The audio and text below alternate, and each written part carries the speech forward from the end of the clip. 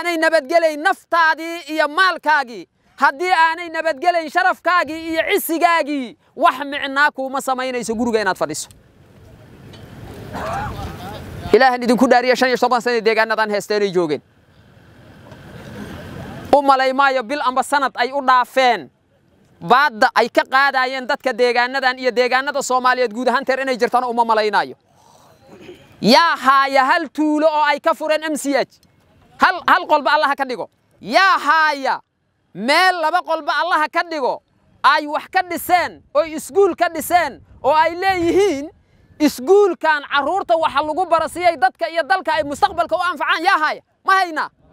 jenaraal odawaa yuusuf raage oo bannaanka keenay sir ku aadan inay jiraan madax ka tirsan maamul goboleedyada oo wadahadallo kula jira kooxda al-shabaab haddaba madaxdaasi yeeyihiin. Xogtii ugu dambeysay fariin ka timid jenaraalka xog ku aadan dagaalada socda ee qabaa'ilka ee ka socda shabeellada dhexe iyo fariinta ku aadan jenaraalka uu u diray macluumaadkaa qarsoon iyo arrimo kale oo ku aadan joogsiga dagaalka wejiga labaad ee shabaab ka dhana ayaan muuqaalkan daawada kugula wadaagi doonaa marka hore si aan faahfaahinta muuqaalkan ugu gudagelno noo sheergarey oo barteenna qayb ka noqo saaxiibada ku xihan waa hagaag aan ku horreyno taliyii hore ciidanka xoogga dalka jenaraal odawaa yuusuf raage ayaa waxa uu soo diray fariin u muuqata canaan oo ku aadan joogsiga wejiga labaad ee dagaalka ka dhana kooxda al-shabaab. Jenaraalka ayaa waxa uu sheegay inay jiraan madax ka tirsan maamul goboleedyada dalka kuwaa oo hakad gelinaya dagaalka waxaana uu sheegay in wadahadallo ay kula jiraan xubno ka tirsan kooxda al-shabaab. Odawaa yuusuf raage ayaa fariintan waxa uu u gudbiyey qaar ka mid a madaxda dalka. Waxa uuna sheegay in hadda ay jiraan madax ka tirsan maamul goboleedyada kuwaasi oo wadahadallo kula jira kooxda al-shabaab waxaana madaxdaasi oo qaarkood uu si sarbeeba u sheegay jenaraalka uu ku tilmaamay inay yihiin kuwa hurinaya dagaalada ka socda dalka kuwa oo ku aadan dagaalada qabaa'ilka iyo kuwa kale. Haddaba tuhun soo baxaya ayaa tibaaxaya in madaxweynaha maamulka hirshabeelle cali guudlaaw uu ka mid yahay qolada uu sheegay taliyihii hore ee ciidanka xoogga dalka jenaraal odawaa yuusuf raage odawaa ayaa waxa uu kashafay sir ku aadan dagaalka al-shabaab ka dhan ah ee gobollada ka socday hakadkana muddada ku jiro isagoo sheegay in qabiilada qaar lagu dulmiyo dagaalkaasi. Jenaraalka sidoo kale waxa uu baahiyey muuqaal ku aadanaa xog uu hayey muddana uu keedinayey xogaha ayaana waxay tibaaxayaan in odawaa yuusuf raage hadda uu u muuqdo mid bannaanka keenayo xogtii ugu dambeysay uu ka hayay madaxdan axmed madoobe iyo madax kale ayaana soo galay kiiskan oo qayb ka noqonaya. Jenaraal odawaa ayaa sheegay in madaxweynaha maamulka jubbaland axmed maxamed islaam axmed madoobe uu raalli kaga yahay shabaab inay joogaan maamulkiisa iyada oo xaruntii maamulkaasi uu ku shaqayn lahaa ay tahay meel go'doonsan shabaab ay haystaan aanan la geli karin. Odawaa ayaana tibaaxay in hadda iyo wixii ka dambeeya loo baahan yahay in dowladdu ay xoogga saarto sidii shabaab dalkan looga saari lahaa meelaha ay ku harsan yihiinna looga bixin lahaa. Balse ilaa iyo hadda ma muuqato deegaanada koonfurta dagaal ka shabaab oo socda qabanqaabadiisa iyo abaabulba intaba ma muuqato. Waxaana jenaraalka uu sheegay intaasi ay tahay gaabsi dowladdu ay samaysay loona baahan yahay in si deg dega looga falceliyo arrintaasi oo shabaab dalkan laga saaro. Waxa uu yidhi jenaraal odawaa yuusuf raage lama joogay xilligii shabaab dalkan ay gumaysan lahaayeen waxaa la joogaa xilligii dalkan la xoreyn lahaa. Dadkuna israaci lahaayeen.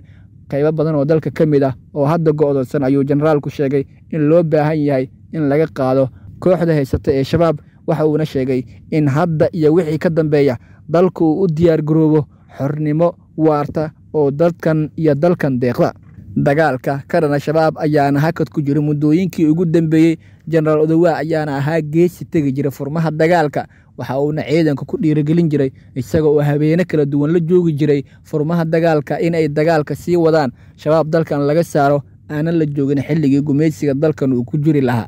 Ciidamo xoogga dalka ah ayuuna geeyey furmaha dagaalka muddo badan ayuu jiidaha dagaalka joogay jenaraal odawaa yuusuf raage isaga oo maalinba maalinta ka dambeysa tegayey furun ka duwan midii hore uu u joogay. Waxaana jenaraalka uu sheegay inay jiraan madax ka tirsan maamul goboleedyada dalka kuwa oo cuuriyaaminaya dagaalka ka dhana al-shabaab madaxweyne xasan sheekh maxamuud oo kulan gaara uu la qaata ka hor xilka qaadistiisii waxa uu sheegay in dalkan aan la sii wadi karin dagaalka shabaabna uusan soco karin haddii madaxdaasi aan wax laga qaban karin. Dowladda waxay sheegtay inay la dagaalamayso musuq maasuq balse ma jira musuq maasuq ka weyn in la hagardaameeyo cadowgii dalkan saarnaa iyo dadkan in laga dulqaado. Waxaana generaalku uu sheegay inay tahay musuq ugu weyn ee hadda dalkan haysta khiyaanada ay ku kacayaan madaxda ugu sarraysa qaarkood iyo kuwa maamul goboleedyada oo iyagu markaasi qayb ka ah. Waxa uu yidhi dalkan waa loo heshiiyey waxaa la doonayaa in meel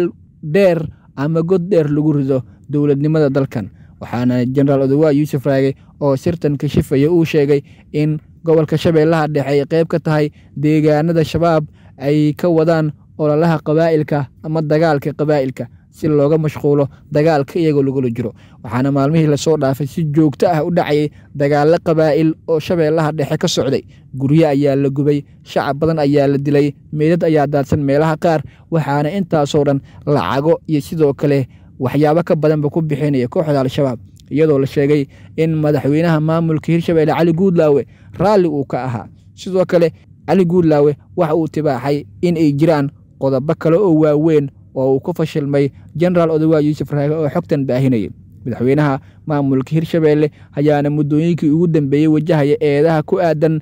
in ay jiraan dagaalkan qabaa'ilka inuu isaga wax ka ogyahay waxaana xilligii madaxweyne farmaajo ahayd mid lala xisaabtamayay cali guudlaawe. Haddase waxay u muuqataa in laga gaabiyey ayuu yidhi taliyii hore ee ciidanka xoogga dalka jenaraal odowaa yuusuf raage oo xogtan baahinayey waxaana jenaraal odowaa yuusuf raage uu sheegay in haddii la rabo dalkan in la xoreeyo shabaab laga dulqaado cadowgan laga dulqaado sidoo kalena la rabo in dalkan meel fog la gaarsiiyo in laga fogaado musuq laga fogaado wax laysdabamariyo sidoo kalena waxa uu sheegay in loo baahan yahay in si deg deg ah loo qaado tillaabo ha noqoto mid qaraar. Sidoo kale waxa uu sheegay in dalkan keliya lagu dhaqi karo awood ciidan oo shabaab looga hortago jenaraalka oo dhowaan xilka laga qaaday ayaa waxa uu tibaaxay in ay tahay xilligan xilligii shabaab dalka laga saari lahaa. Isagoo dagaal wada ayaana dhabarjebin lagu sameeyey oo xilkii laga qaaday. Waxaana dib ugu soo laabtay magaalada muqdisho. Kadib waxaa kulamo kala duwan uu la qaatay madax hore dalka u soo martay iyo sidoo kale kuwa hadda doonaya saaxadda siyaasadda inay soo galaan intuba. Waayo aragnimo ayuuna ka siiyey dagaalka al-shabaab ka dhana waxaana uu sheegay in hadda loo baahan yahay in laga hortago cadowga dhagarta ay maleegayaan jubbooyinka ayaana ka mid ah deegaanada ugu badan ee shabaab ay ka soo maleegaan weerarada ay ku soo qaadaan magaalada muqdisho oo xudunta dalka ah iyo sidoo kale goobo kale oo ka mid a dalka. Jenaraal odowaa yuusuf raagey oo hore ula soo shaqeeyey fahad yaasiin iyo farmaajo ayaana weli waxa uu ku taagan yahay dhabbihii ahaa in dalkan la gaarsiiyo dowladnimo saxa cadowga laga dulqaado waxa uuna sheegay in soomaaliya oo isku filnaata cadowgana isku xoraysa keliya ay ka xigto in laga hortago madaxda uu sheegay inay hagardaameynayaan guulaha ciidanka xoogga dalka ay dalkan u soo hoynayaan. Waxaana jenaraal odowaa yuusuf raage uu sheegay hadda in loo baahan yahay in si deg dega looga falceliya arrintan inta aysan ku fogaan madaxdan uu sheegay. Axmed madoobe iyo madax kale ayaana ka soo muuqatay dagaalada shabaab inay caqabad ku yihiin waxaana uu sheegay in hadda iyo wixii ka dambeeya ay tahay in laysku tashado oo madaxdaasi qaarkood laga hortago caqabadaha taaganna la xaliyo waxaana odowaa uu sheegay in hadda loo baahan yahay in shacabku ay isku tashadaan. Dagaalka la sii wado odowaa oo hadlayey muddo dheerna ay qaadatay inuu xogtan soo bixiyo